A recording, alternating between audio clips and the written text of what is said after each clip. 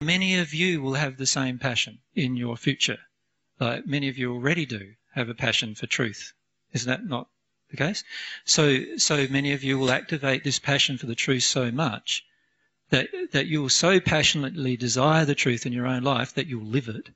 And when you live it, you will automatically attract everyone around you who wants to listen the truth will be drawn to you as a result of you living it.